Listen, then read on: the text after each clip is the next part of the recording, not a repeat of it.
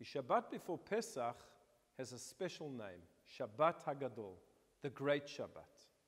The question is, what makes it a great Shabbat? What is so special about it? Why is it any more important than the Shabbat before Yom Kippur, which is called Shabbat Shuvah, the Shabbat of repentance? It's not called the Great Shabbat. Or the Shabbat before Purim, which is Shabbat Zachor, the Shabbat of remembrance. Why is it that only the Shabbat before Pesach is called Shabbat Hagadol, the Great Shabbat? And many different explanations have been given for the meaning of this name. One, and perhaps the most simple explanation, comes from the Haftarah.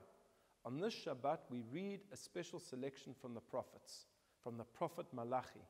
And he tells us in the penultimate verse that before the great and awesome day of God, he will send us Eliyahu Hanavi, Elijah the prophet, to herald the coming of the Messiah. And of course, Pesach and Eliyahu Hanavi are connected to one another. The character, the figure of Eliyahu Hanavi looms large in the Pesach Seder.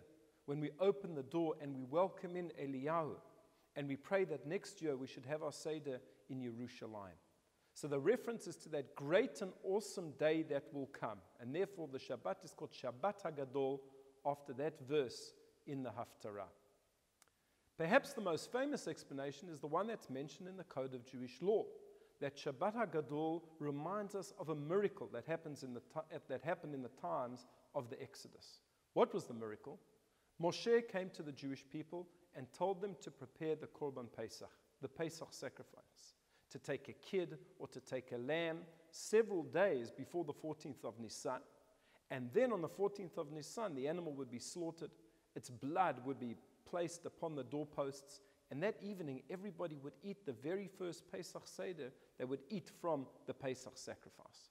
But of course, this was a provocation against the Egyptians. The Egyptians worshipped certain animals, including the lamb. And this was almost taking their God and destroying it. There could have been a terrible pogrom, but nothing happened whatsoever. This is the great miracle that Shabbat Hagadol recalls. Because in that year, it was on the 10th of Nisan that they started to prepare the Korban Pesach, and that day was a Shabbat. But there are other explanations that are given too. Gadol means great or long. And indeed, for many, it was a very, very long Shabbat. Why is that so? It's in a very balanced time of the year. In the northern hemisphere, it's in spring. Shabbat is not too long, it's not too short. Why was it considered to be such a long Shabbat? And the answer to this goes back to a custom that is millennia years old. And that was for the rabbi of the community to give a long drasha, a long talk on the Shabbat before Pesach, mostly to explain to the congregants how to, prefer, to prepare for Pesach. Pesach is a complicated festival. One has to kasher one's home. There's the making of the matzah, the preparation of the maror, all the preparations for the seder, the wine. It's very complicated. And therefore, the best and most opportune time to do it would be on the Shabbat before, where you have an audience, you have a crowd. And therefore, the rabbi would speak at length about the upcoming festival. And we have recorded many, many such drashot from great rabbis throughout the ages and the type of things that they spoke about before Pesach. And therefore, it was called Shabbat Hagadol, the long Shabbat, because indeed it felt very, very long to sit through such a long lecture. Some also related to the word Gadol, which means a great person.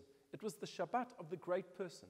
It was the opportunity of the great person, the great scholar of the town, to teach the Torah, and in particular, that part of the Torah that was relevant to Pesach. But let's conclude with a final idea. The word Gadol also means an adult. An adult. When a child is born, we pray, Zeh hakaton gadol yiyeh, at a bris. This little child Gadol, Yihiyeh, should become an adult. At the moment, he's a katan, he's a minor. He's not obligated to do mitzvot. He's just a little child, or she's just a little child. But we pray that they should become a gadol, an adult, an adult who is obligated to do mitzvot. And really, what happened on Shabbat HaGadol is that the Jewish people came of age. We became adults, as it were. Up to that point, we were a family. We were a large family, we were the family of Jacob with his 70 descendants who came down to Egypt and became a mighty nation there 600,000 males over the age of 20, and perhaps a total of about 3 million in the population, but we were still immature. There was a lot that we didn't know. We were basically pagans and idol worshippers. And God came, and on this particular occasion, He gave us the very first mitzvah.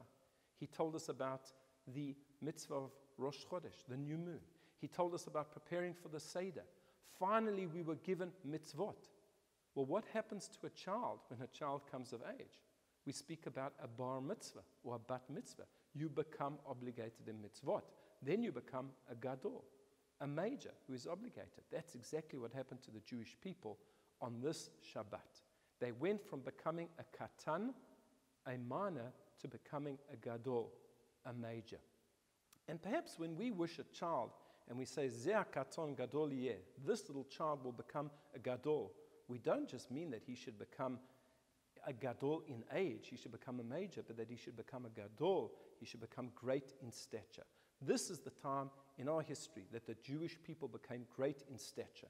And therefore, at our Pesach Sederim, we behave like royalty. We lean, we have the best food, we have drink, we have wine. We are gadol, we are great people. We came of age on this Shabbat, and that is why it is so significant. I hope that it's a very meaningful Shabbat Gadol for you, and I wish you all a Chag Pesach Kasher V'Sameach.